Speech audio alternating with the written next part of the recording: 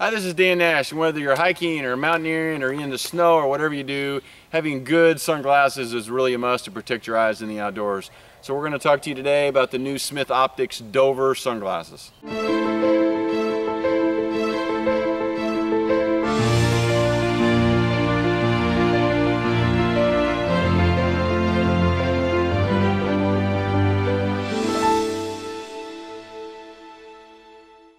These are the new Dover sunglasses from Smith Optics. Um, these comes with their new Chroma Pop lens and what that really does is that it enables the colors to really come out. So um, I wasn't sure how that was going to work, but as soon as I put them on, you can actually see the differences in the colors, in the greens and, and in the different colors.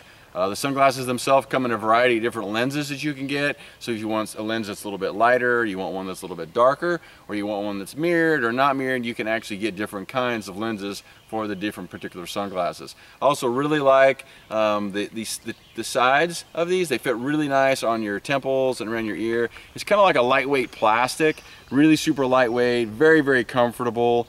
The lenses themselves are really good. I use them in a lot of hiking and backpacking and found them to work really, really well. Um, whether I'm in the trees in a darker condition or out in the bright sun.